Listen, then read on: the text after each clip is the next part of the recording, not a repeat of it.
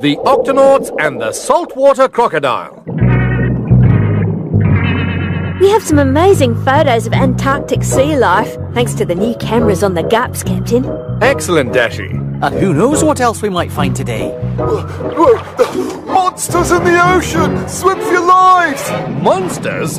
Three of them at least! The one I saw was just a giant head with teeth! The one I saw was a giant squirmy sea serpent! The one I saw, I couldn't even see the whole thing! That's how huge it was! And where exactly did you spy these hideous creatures of the deep?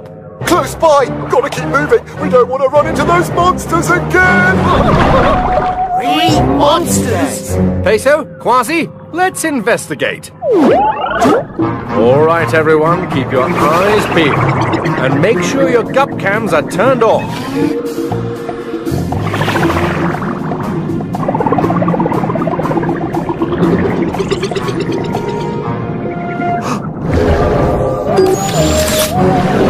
Just saw what appears to be a big-headed monster, exactly like the one described by the first dolphin.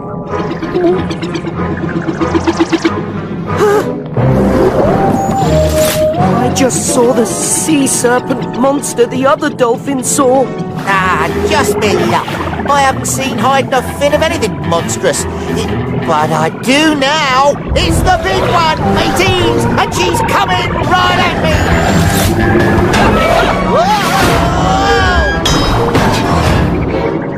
Kwazii! Whoa. Shiver me whiskers. Let's see what the photos from the GUP cams can tell us. That's the monster I saw.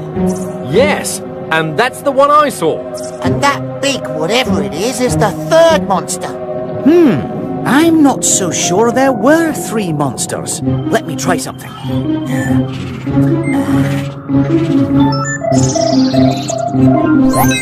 It's a crocodile. It's a saltwater crocodile, the world's largest crocodile. It's as big as a bus. And it's a long way from home. Saltwater crocodiles normally live in places like Australia. That's over a thousand miles away. Hmm. It's not unusual for saltwater crocodiles to travel far out to sea looking for food, but I've never heard of one spotted in the Antarctic Ocean. Oh no, he must be lost. And freezing. Saltwater crocodiles are reptiles. They stay healthy by moving to different places when they need to warm up or cool down.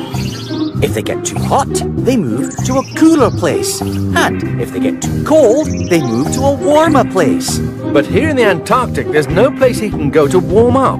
He won't be able to survive this extreme cold for long. Dashi, sound the Octo Alert!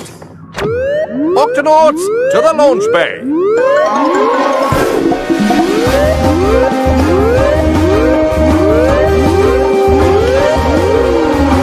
Octonauts, we have a saltwater crocodile who is lost and in danger from the icy cold water.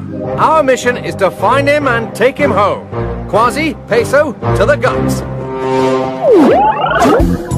Remember, Octonauts, this is a huge creature we're looking for. If it feels threatened or scared, it may attack us. Aye, and the way it nearly swatted me GUP, that tail could crush us like a tin can. It would more likely chomp you with its massive jaws and teeth. Keep a sharp lookout, me hearties. That croc could be lurking anywhere. Below us, behind us. Or above us. Whoa!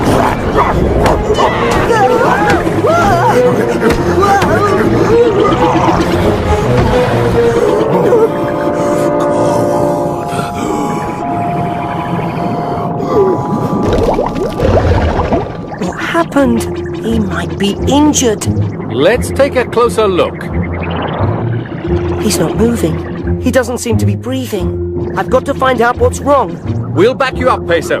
Shellington, stand by to assist. He's got a heartbeat, but very soft and slow. Shellington, any idea what's going on with him? Yes, Captain. When saltwater crocodiles get very cold, their bodies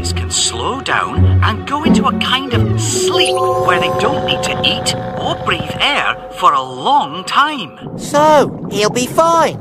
After he wakes up, he'll head home. The saltwater crocodile might not know his way home, Kwazii, and he may not be able to wake up at all because of the extreme cold. We need to get him back to the octopod and warm him up. but he's too big to fit through the octa hatch. I wasn't thinking of bringing him inside the octo.